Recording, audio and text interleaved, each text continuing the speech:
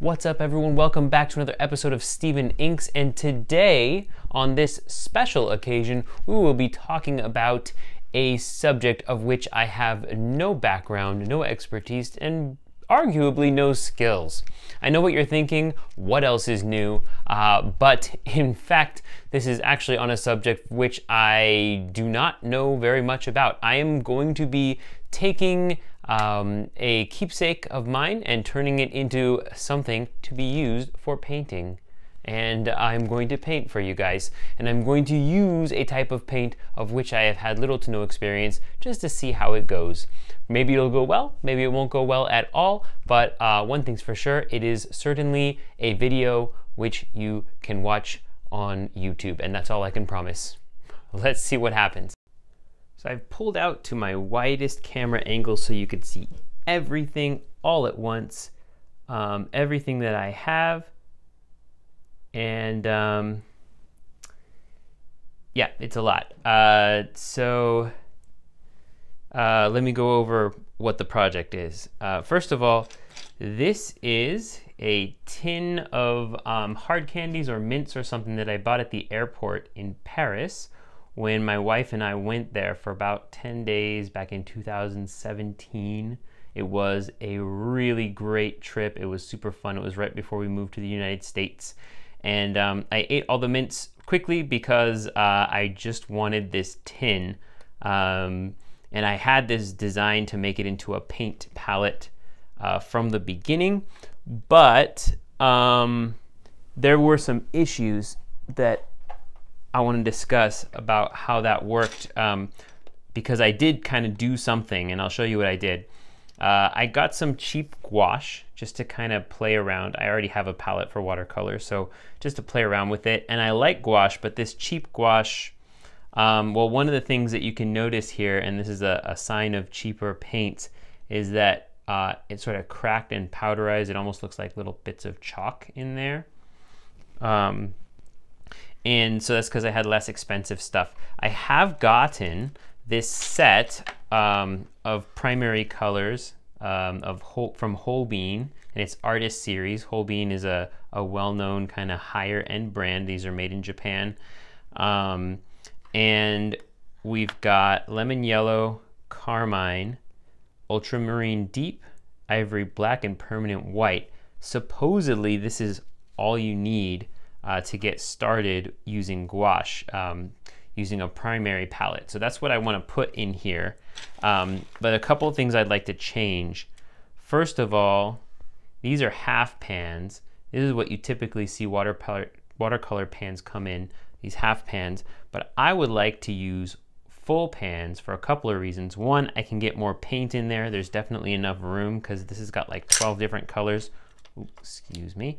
Um, 12 different colors uh, from the gouache set, but I just want to do these primary five. So there's going to be room for five plus a few more for other reasons that I'll discuss later. Um, but also if I'm using a larger or a wider brush, it's a lot easier to get a wider brush into a, a full pan rather than a half pan. Um, and I found that to be kind of helpful with painting, just to have some flexibility. So I wanted to do that. Um, the other thing that I noticed, and uh, I'm going to utilize this water brush that already has some, some water in it, um, you can see, to show you this, but use, utilizing the, the cap as a, a pan for mixing was my original idea, and if you notice, so I pull some paint off of this thing, it doesn't really, the paint doesn't go anywhere. It doesn't, it's not spreadable because um, it just likes to beat up where it's at. And that caused a lot of problems. It makes it so that I can't mix colors very well, even though it is possible, right? Um, a lot of times the, the, the paint's just, the, the liquid won't spread. Uh, so I found a solution to that. And that solution, um, I've sort of tested it on a few things. I got this Altoids tin because I didn't want to mess up this one, which has sentimental value, as I mentioned before, uh, figuring out a few things. And I also have this other one that I use for some cheap paints just to try out even having an even smaller um, uh, palette. Um, and these are Winsor Newton Cotman colors. So what I did here is I actually painted this with um, an enamel, an outdoor uh, like furniture paint um, using a cheap sponge brush because I didn't want to mess up uh, any of my actual brushes. And this sponge brush also allows me to put down an even layer. So watch what happens when I take this. I'm going to put some water on here and I'll get some of that same paint from before just for consistency's sake. So now I can actually take my colors, some of this yellow, and I can mix them because the paint gives me an even surface to mix on. Um, so that's better. I am going to do that here. Uh, one of the other roadblocks that I have for that, I'll clean this brush later, um, is that the Eiffel Tower is embossed on this side. Looks cool on the outside, um, but I would like a flat, even surface. So with this Altoids tin, these are also embossed, and you could do this project with an Altoids tin, no problem. Um, I ended up getting some uh, wall spackle, which is just something you might have around the house if you want to um, use it to, to repair holes in your wall. Um, uh, you'll see me use it later on in the video on this. And uh, I filled in the gaps here and then I painted over the top. One thing additionally I'd like to do is after I put this stuff down and let it dry, it is sandable. So I want to sand it flat so it's nice and smooth. And then we'll end up with something closer to this just here. Um, and uh, well, I'm see it'll be here and it'll be nice and um, flat and even. Okay, so that's what I'm gonna do there. And um, another thing that's gonna be different is I went ahead and for the first time around, I did this on the cheap and I bought this uh, adhesive magnetic tape to put these pans down. It works. You could do it with this. Uh, it's a little flimsy and sometimes because the uh, the glue that holds the magnetic um, the tape onto the uh, the plastic is not very strong and it's not waterproof. If you get liquid down there, it could loosen up and then you have to either reapply or do a new one. It's not very uh, reliable. So I went ahead and I got these uh, neodymium magnets. These are rare earth magnets. You can get them pretty easily on Amazon. I bought these at um, like an Office Depot. I don't love this shape. You can get them as a circle, and I would they used to sell those at a local craft store um, but then they stopped selling them. I don't know if it's a supply chain thing or if they just stopped carrying them. But anyway, I couldn't get the circular one, so I'm doing my best with these. And I have um, also found this set of adhesives that um, includes a plastic primer. So this right here is a primer for the plastic of these pans uh, that makes it so that it fuses really well with plastic. Because even when it comes to this sort of super glue type of glue, oftentimes uh, certain types of plastic, particularly cheaper or kind of slick plastics, it doesn't bond very well. So um, that's what I went ahead and I grabbed and I used here. There's a specific reason why, and I'll, I'll go into it later, um, why I have these on the bottom, um, but they'll basically be where I place my paints, right? Um, and then I have additionally, and I'll show you this when I assemble the whole thing, I have additionally these on the, on the side. I'm gonna do four or five of these as well. Um, and we're gonna keep these away from each other because they're very uh, strong magnets. So until they're completely cured and dried, um, which is gonna be a little bit longer. So I'm gonna put all of the pans that I need ready in here, well, in here after I clean this whole thing out. Um, add in the spackle, sand it down, paint over the top, and then we're gonna look at um, what it looks like in the end. I'm excited to show you. One more thing I wanted to say that I forgot. Um, as you can see, I'm gonna put up on the screen all of these different things that I had to buy um, the cost of them. Uh, yeah, you can see I put up on the screen all of those things combined. Definitely, it is cheaper to get a watercolor palette uh, like the one that you've seen me use in videos where I watercolor. Um, they're easy to find online, on Amazon, whatever. I'm doing this um, not to save money, but uh, to make something cool that I can carry in a, a, compact way to be able to paint outdoors on the go um, and just have a little conversation piece, something to remind me of my memories of my trip to Paris. So yeah, this is not a financial decision. This is a, a creative decision. Um, and yeah, if you're looking for a, a, portable watercolor palette, there's a lot of great ones that you can find on the internet and maybe even at your local art and craft supply store. All right, that being said, let's get into it for real.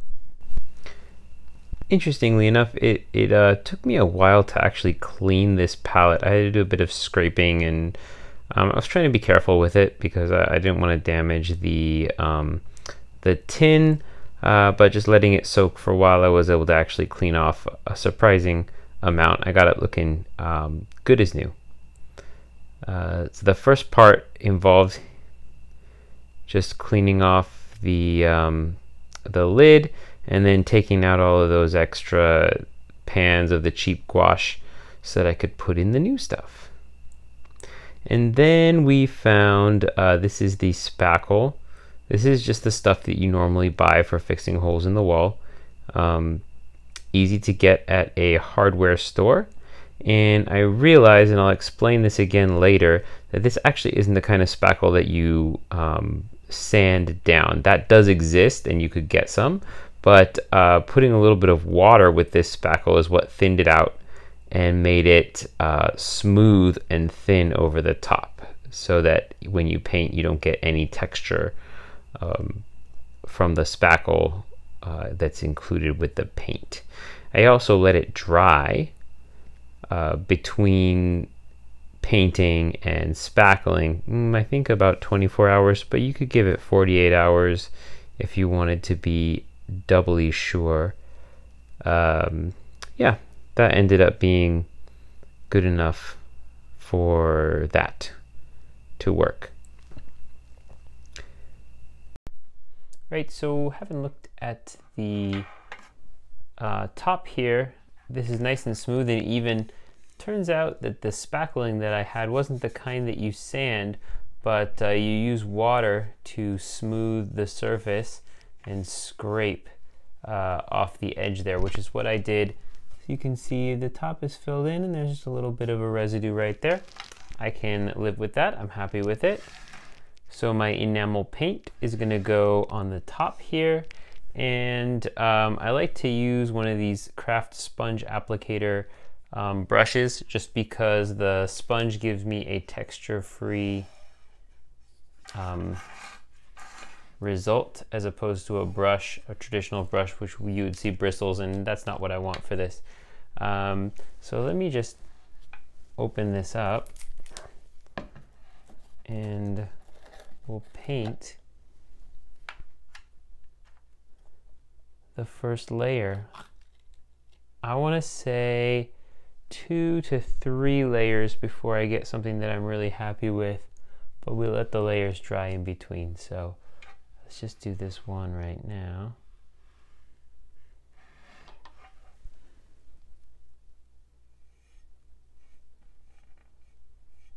what I'm saying with the sponge.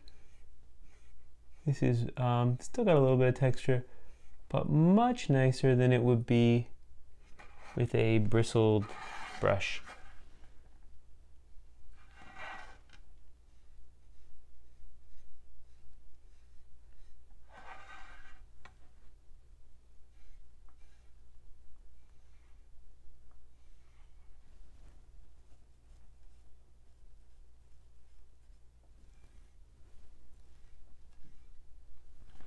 Okay, and I can tell I want another layer of that for sure. But let this dry first. And um, I don't want paint getting up the sides of this because if paint gets into this part where the um, where the latch secures on the front, it's going to make it hard for the thing to close and reopen. So I'm going to go around this with a q-tip just to clean the edges up.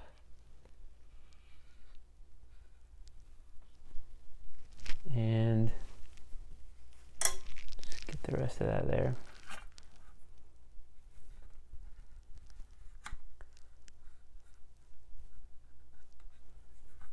All right.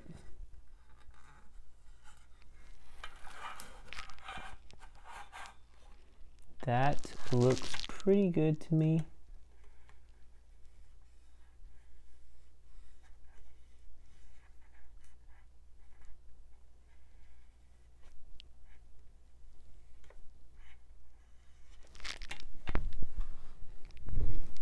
Cool.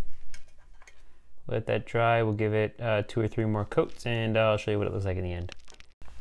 I ended up pouring the paint into the uh, full pans and um, I should point out I've done some research on this. A lot of people say that there's a chemical difference between tube paints and paint pans like watercolor pans or in this case gouache. Um, that you shouldn't dry them and, and then reconstitute them with water.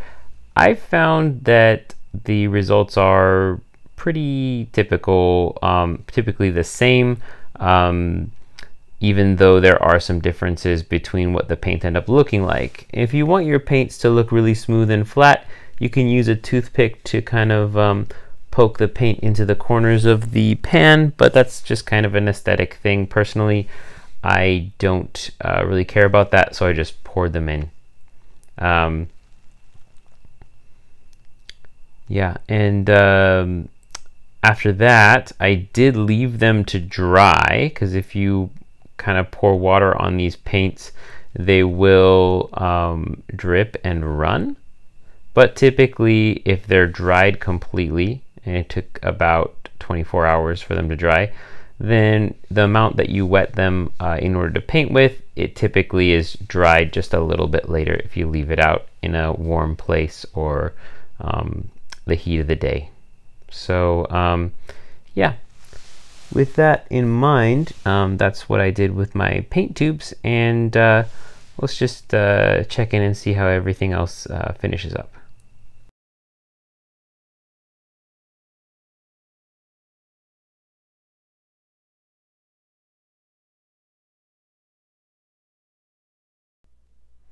this is the end result of my work and uh, I ruined it.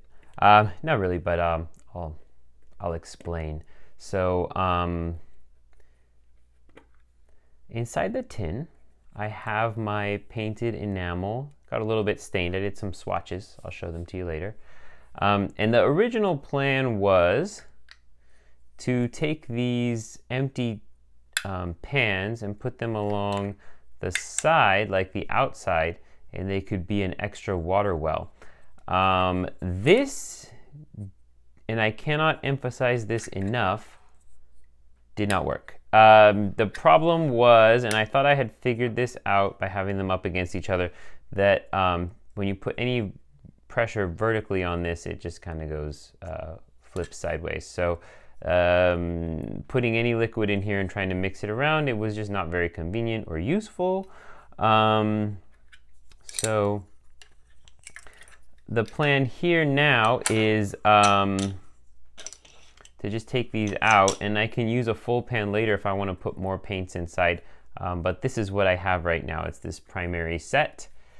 Uh, I did also take this piece of sponge that was inside the box and I thought maybe I could put it in there and have it be a place to kind of wipe the brushes clean, but that didn't really do anything significant. So I'm going to take that out. Um, and what, what this leaves us with is um, just the ability to put maybe another uh, three more um, pans in there. And uh, I don't have any other colors, so it's just going to be these for now, but I, I, do like that I could, if I wanted to, come back and add in another. I'd probably add a brown. I want some more warm colors, uh, like a warm blue and a warm red. Um, I feel like that would be very helpful. So those are colors that I would add in there. Or maybe a green, because mixing greens here is not very convenient uh, but definitely mixing browns was an issue. I'll show you the swatch in a minute. What did work and worked better than I thought it would was this enamel paint. It did get stained, so you can see it's kind of a pinkish yellowish hue right now. Um, but I was able to pull the brush and do a little bit, do little tiny swatches here, here, and here so I could mix a couple colors at once. They do sort of mix together, but when you're painting in plein air, that's kind of something that happens. So overall, um, a really good project, something that I am going to come back to um, at some point moving this in. Uh, taking this space and, and adding in what's left over. So that's cool. And I did some swatches. You I'll like some swatches. Uh, what I did is I, I took all the colors that were given to me and I did them horizontally and vertically. Usually when I get a new palette, um, any kind of paints, usually watercolors, which I use the most, I'll do this and I can see what happens when I mix the colors together and you can see there's a couple of places where um, you can see uh, some similar colors. And uh, over here is where I try to mix some colors. I tend to try to mix browns, greens, um, some kind of purples, and skin tones. A lot of these colors were attempts to make skin tones, and it's a challenge with this palette. I feel like the red isn't quite great for um, skin tones. It's a little bit too um, I don't know, red in a traditional sense, if that makes any sense at all. Um, and I think maybe here I come close to something good and maybe here for a darker skin tone, but I noticed definitely darker skin tones were even more of a challenge. Some of these lighter skin tones uh, were a little bit easier. Um, but yeah, overall, actually the paint itself looks a bit chalky which is disappointing because this wasn't a cheap set and uh, Holbein does really make great watercolors. I've never used their gouaches before, but this is the kind of um, chalkiness that I'm getting here. Anyway, um, I'm going to take this and I'm going to make some paintings with my new palette and it's either going to go really well or I'll just delete this footage and do it a second time and I won't tell you that it's the second time. It's trickery. Uh, enjoy the video on the next clip. So I actually ended up doing this um, on the first take, if you believe that. Um, and I decided to go through and take my time on these paintings because like I said I, I, don't feel like I have that much experience with painting.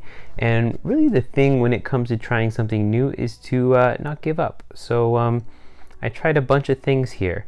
Um, by the way the the source of the inspiration for all of the reference photos here are from my time in Korea and um, traveling around in that those areas uh, when I was younger.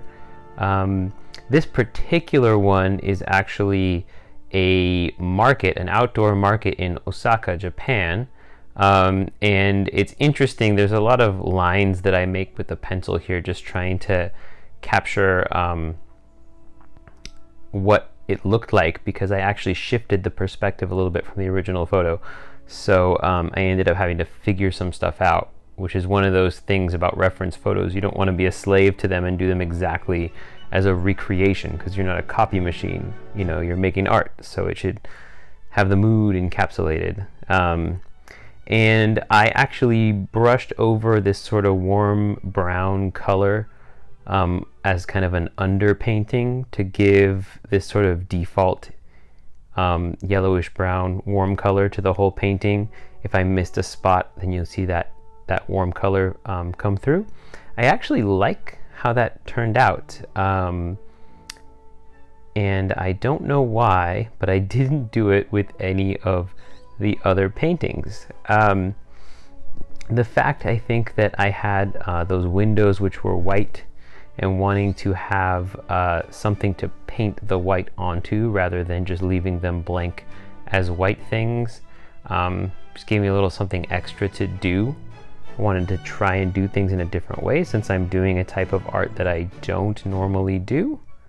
Um, yeah, hopefully uh, you guys appreciate that. And um, yeah, gouache is interesting as a from a watercolor perspective, which is what the other kind of um, art that I make besides pen and ink is that sometimes I do watercolor. Um, it's kind of opposite. You sort of start with watercolor. You start with um, lighter tones and you go darker. But with gouache, since it's an opaque paint, you have the ability to start with the dark stuff and actually put lighter stuff on top of it, which is um, interesting and also kind of refreshing. It's nice that you could do things in a different way than what you normally would do. Um, so yeah, I had a lot of fun painting this uh, octopus hanging from a metal uh, ceiling rafter. This is a um, it was like a giant mannequin of an octopus, if that makes sense. Not not a real octopus that was hanging as sort of this decorative element with all these string lights below it um, at that market, and I remember it really well. And I think one of the um, sort of points that I'm proud of here is that I was painting this, and my wife came by and saw it, and she was like, "Oh, that's the um, the market in Osaka, which was like five years ago. So if she still remembers that, then I must have done a pretty good job of it, I guess. Um, yeah, um, I, I, like how this one came out, and uh, hopefully you do too.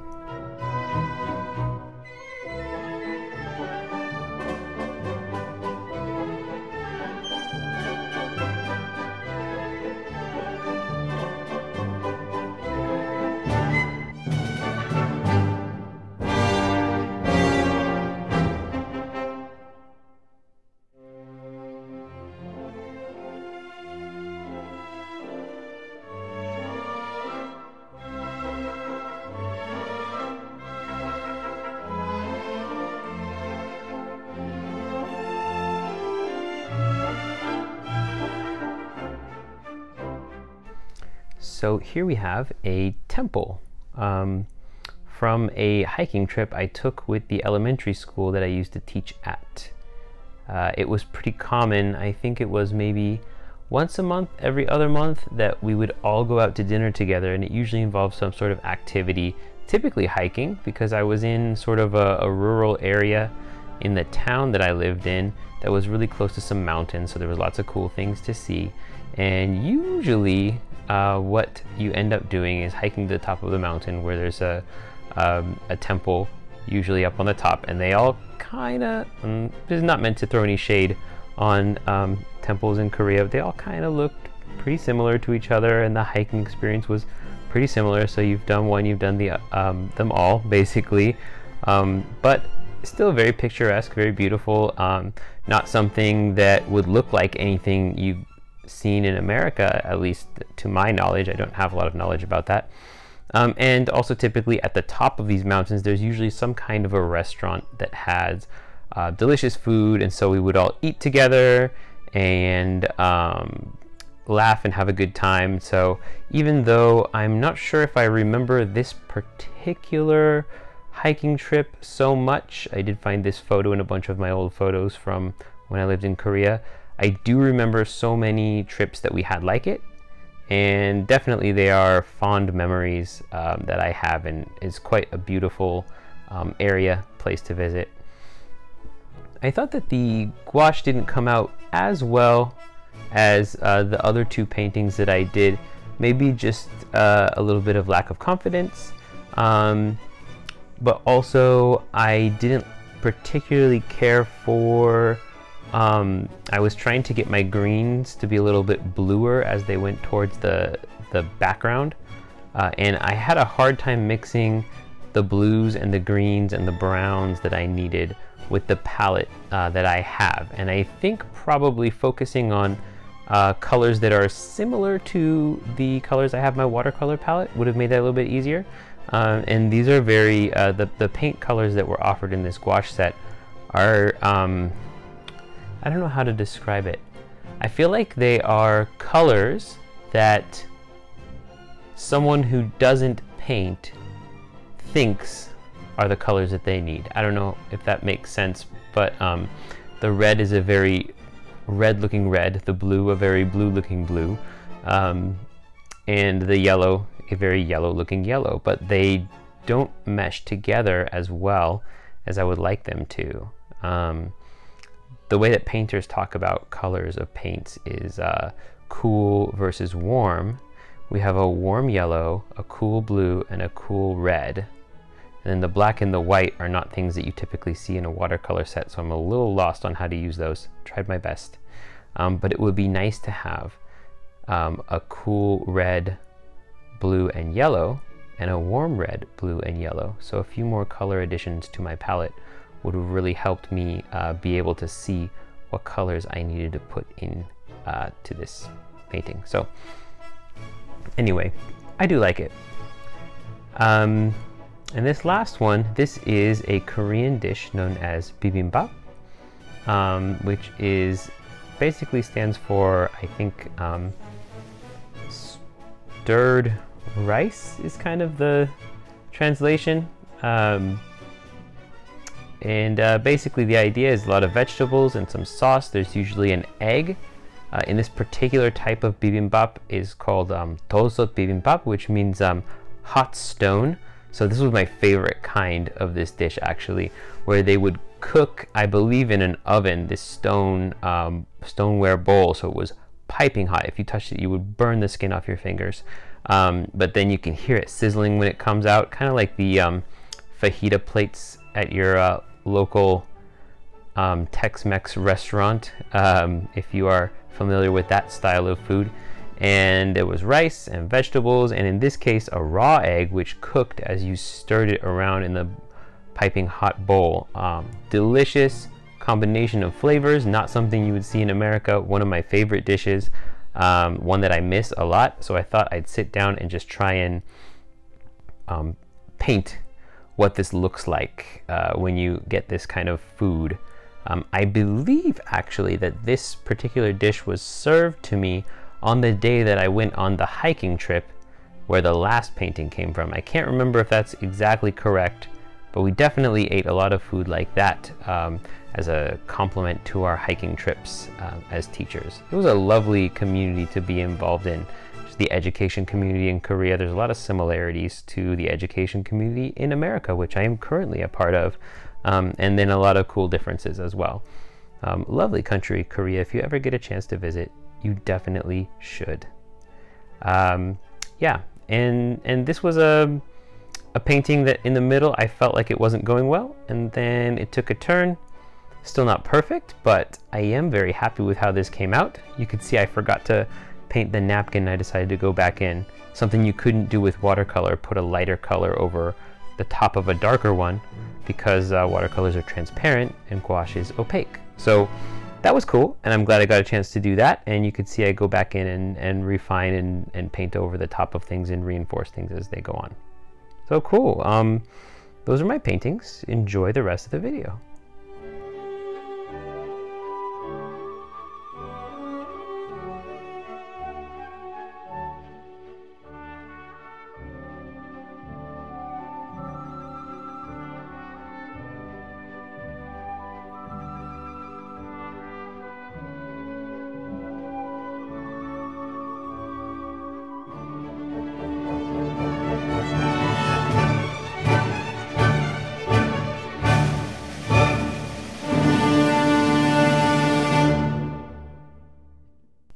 That was certainly an adventure, and I had a lot of fun painting for you guys, even though gouache was something that I have not really tried before, and um, the results might not be 100% what I'd hoped, but I think I did pretty well with it, and I'd like to keep coming back to it. So I'm really glad that I was able to make this palette, and I can travel with it and take it anywhere with me to continue to build and hone my skills in gouache.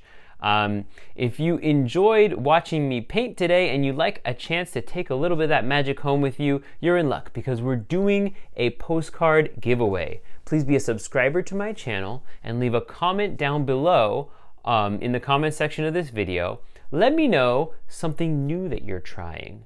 Um, I'd love to hear from you, and I, uh, I love getting that feedback. Hopefully, you would love to see a little bit more of my painting skills once I have a chance to uh, build them up in a future video. But the regular subject of this channel, pen and ink style art um, and fountain pens in particular, is coming up in the next video in about a week or so.